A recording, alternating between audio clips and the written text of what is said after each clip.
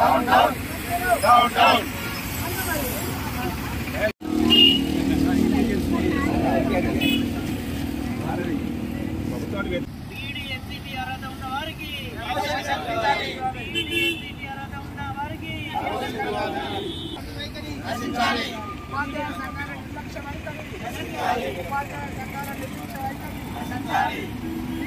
Justice. Justice. Justice.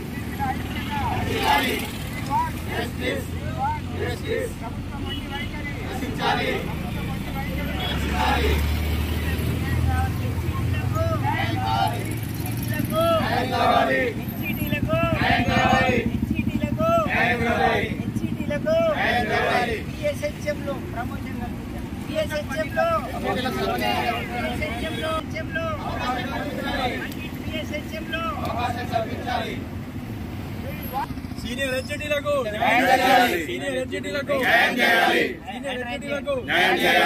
Minimum విద్యార్హతగా inter ఉన్నట్టు inter BEd ఉన్న వాళ్ళకి ప్రమోషన్ ఇస్తూ బిఎడ్ బిఎడ్ డిగ్రీ ఉన్నప్పటికీ గత ఇరవై ఇరవై నాలుగు సంవత్సరాల్లో పాఠశాలను పట్టుకొని ఇన్ఛార్జిగా పదవి బాధ్యతలు నిర్వర్తించి పాఠశాలను ఎంతో అభివృద్ధి చేసినప్పటికీ బీఈడి అర్హతలు ఉన్న వాళ్ళు బిఎస్హెచ్ఎంలో పండితులకు అనర్హులు మీరు పనికిరారని చెప్పి మమ్మల్ని పక్కకు పెట్టడాన్ని తీవ్రంగా ఖండిస్తూ ఈ జరగబోయేటువంటి జరుగుతున్నటువంటి ప్రమోషన్లలో బీఈడి అర్హత బీఈడి అర్హత ఉన్నటువంటి వాళ్ళకు పండిట్ కామన్ సీనియారిటీ ప్రకారం పండితులుగా ప్రాథమిక పాఠశాల ప్రధానోప ప్రధానోపాధ్యాయులుగా పదోన్నతి కల్పించడానికి అవకాశాన్ని కల్పించాలని ప్రభుత్వాన్ని డిమాండ్ చేస్తా ఉన్నాం. ఈ ప్రభుత్వాన్ని నిన్న మొన్న చాలా సందర్భాల్లో సంప్రదించినప్పటికీ ఎలాంటి స్పందన లేకపోవడం ఉపాధ్యాయ సంఘాలు కూడా దీన్ని చూసి చూడనట్టుగా వ్యవహరించడం మా ఎమ్మెల్సీలు కూడా మాకేందిలే అనేటువంటి ధోరణిలో ఉండడం వల్ల మేమేం చేయాలని తోచక నిన్న మా మా ప్రధాన సంఘాలకు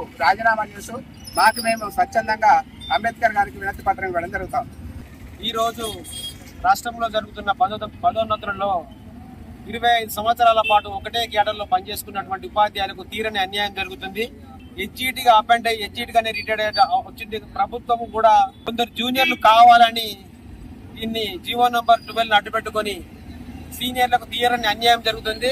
దీంట్లో సంఘాలు కూడా వారు ఏమి పట్టించుకోకుండా సీనియర్ సభ్యులకు అన్యాయం జరుగుతుంటే నిమ్మకు నీరెత్తినట్టు ఉన్నారు అందరూ కూడా సీనియర్లకు న్యాయం జరగాలని ఇరవై ఐదు ఇరవై ఆరు సంవత్సరాలు సబ్మిట్ సర్వీస్ చేసినా కూడా ప్రమోషన్ రాకపోవడం శోచనీయం దీంట్లో హెచ్ఈటీ చేసి బీఈడి అర్హత ఉన్నదని చెప్పి కేవలము జూనియర్ అయిన టీటీసీలకు ఇవ్వడం అన్యాయం ఇది.